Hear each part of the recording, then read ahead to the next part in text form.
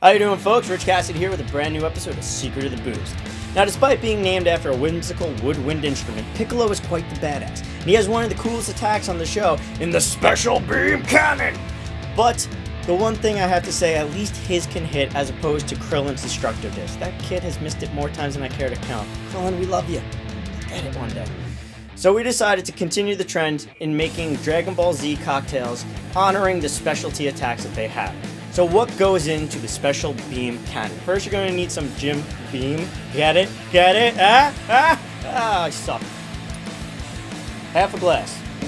Next, you're going to put in a quarter of a shot of triple sec. Then you're going to put in a quarter of a shot of vodka.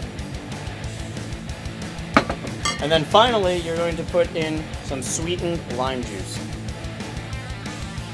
And there you have it, folks. The Piccolo Special Beam Cannon. Now remember, when you're drinking this, to always remember the one thing Piccolo always taught Gohan, and that's to dodge the hangover. This is Secret of the Booze. See you next round.